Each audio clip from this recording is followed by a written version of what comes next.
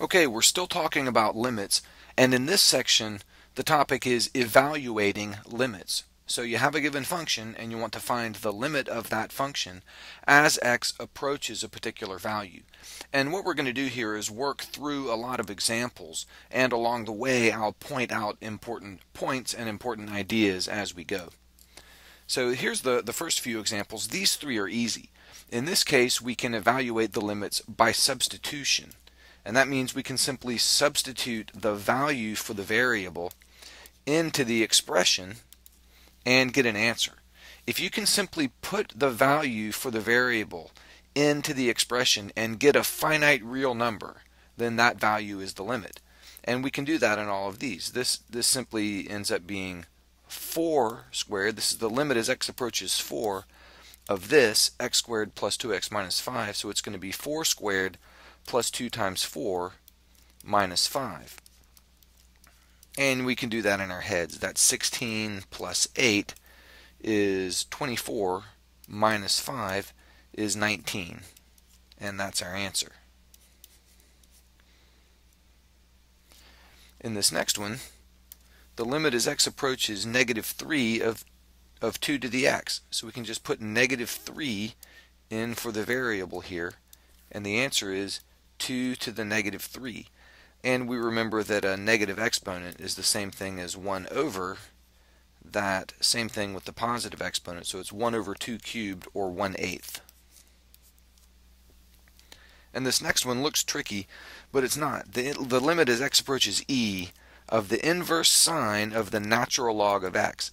And that sounds hard until you realize that, well, we're, we're just putting in a value of e for the variable. So this gives us the natural log of e, which is 1. So the problem becomes the inverse sine of 1. So the inverse sine of 1, what is that? Well, that's the, the angle at which the sine value equals 1. And in my mind, I picture a little unit circle, and the sine is the y value, so we're right up there at the top of the unit circle, and that's at a value of pi over 2 in radians or if you wanted to, it would be 90 degrees, but we typically give these answers in radians. So the answer is pi over 2.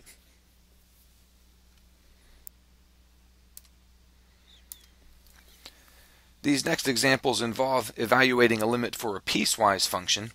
And for piecewise functions, the interesting behavior occurs where the definition of, of the function changes. That where, that's where we can end up with a discontinuity, perhaps, not necessarily, but perhaps, and um, in other places, we typically have just some regular function, such as these here.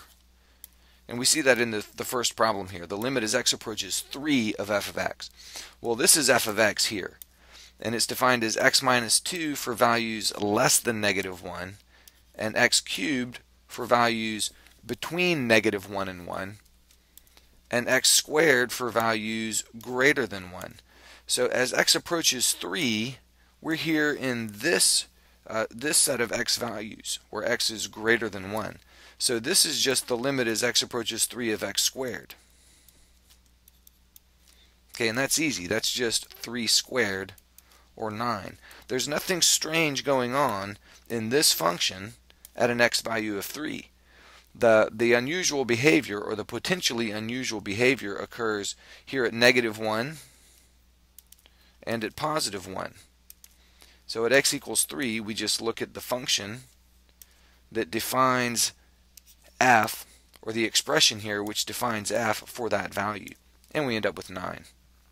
Okay, the next problem here, the limit as x approaches negative 1 of f of x. Well, if x is less than negative 1, we have one expression, and if it's greater than negative 1, we have another. So let's find those one-sided limits. Let's talk about the limit as x approaches negative 1 from the left. And to find that, we just plug negative 1 into this expression because this is where x is less than negative 1. So it becomes negative 1 minus 2, which is negative 3. And let's also look at the limit as x approaches negative 1 from the right. So x is just a little bit bigger than negative 1. So we're using this expression, x cubed. So that's negative 1 cubed, which is negative 1. So we see we approach a different y value when we're getting close to negative 1 on different sides. So the limit doesn't exist. So if you want to write that for an answer here, you can just say the limit does not exist. And we've we've talked about the left side and right side limits in that case.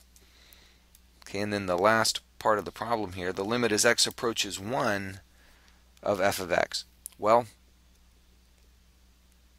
look back at our function. If x is less than 1, it's x cubed, and if it's greater than 1, it's x squared. So we need to think about the left and right limits here also. So let's talk about the limit as x approaches 1 from the left. And when it's when x is a little bit less than 1, then we're talking about x cubed. So this is just 1 cubed, which is 1. And the limit as x approaches 1 from the right of f of x. Well, if x is just a little bit bigger than 1, then our function is x squared. Remember right here, x is a little bit bigger than 1. It's x squared. So this is just 1 squared, which is 1. So the left and right limits both exist and they're the same, so that is the limit. So the answer here is 1.